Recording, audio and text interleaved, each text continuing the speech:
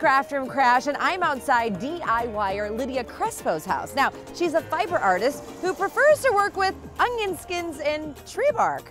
That's interesting. Let's go crash her craft room and find out what Lydia is making today.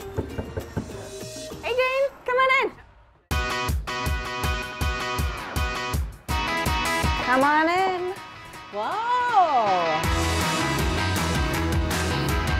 My company is Argaman and Defiance, and we make mostly scarves. So this is like the this is the hub, and I, this is some of your finished projects right here. Yeah, yeah. I call myself a surface designer, and I specifically am working with natural dyes and um, screen printing ink. So these are some of the pieces that I've either printed or I've naturally dyed. This is done with the madder root. A natural dye is anything coming from a tree bark or a root or a leaf that you're extracting pigment from those from that source. So you get this gorgeous red color, or um, you can get an orange or a pink from madder root as well. Oh, this is the madder root too. Yes. I'm actually taking big bolts of white fabric and then I'm throwing it in a dye pot. I don't do any dyeing up front here because I don't want it to accidentally spill on anything that I could be completing. My craft room is actually a craft apartment.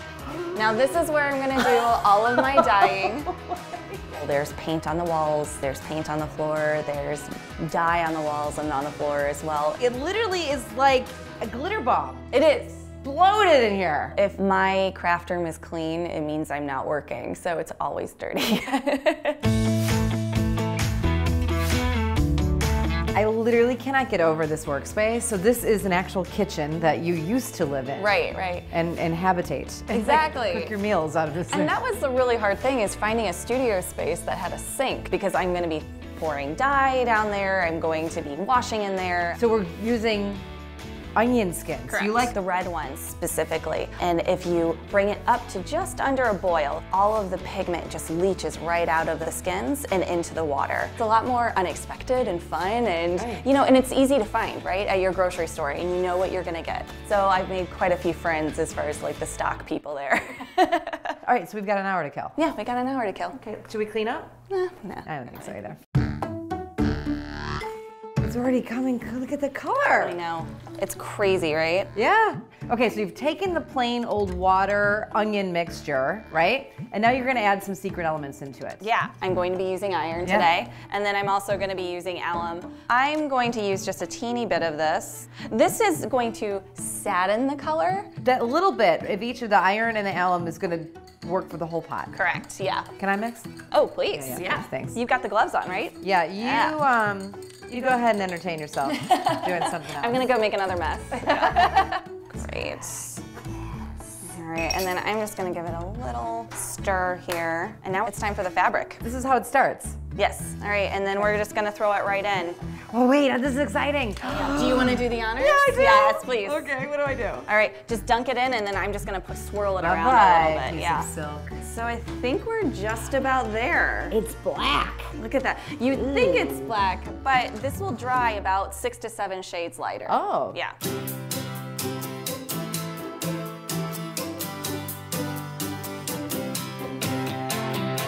Okay, we are in a new space with some dry fabric. That's right.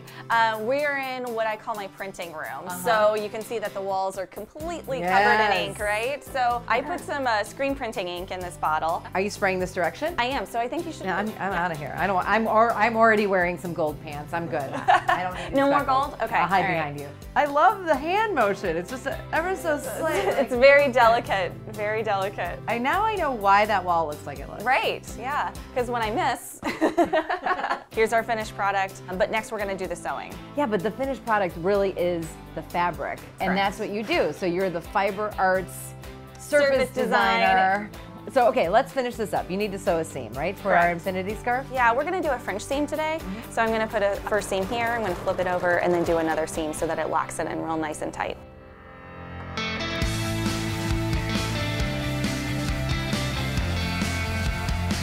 Okay, this is the finished product. This is the After all product. of that work, it's finished. Finally, right? Yeah. So do you wanna go ahead and try it on? I do. How do you wear the infinity Just scarf? put it on the one time over your head, or if you wanna double it up, you can wear it as a cozier. Oh, I love that. Or you could put a little brooch right here. Absolutely, great idea. This is so pretty. Thank you so much for having us in your craft room. Absolutely, thank you for coming to my craft department. I, I love it. I'll be here uh, next week, maybe. Awesome. Okay. Bring the onion skins, right? I, I'll get the onion skins.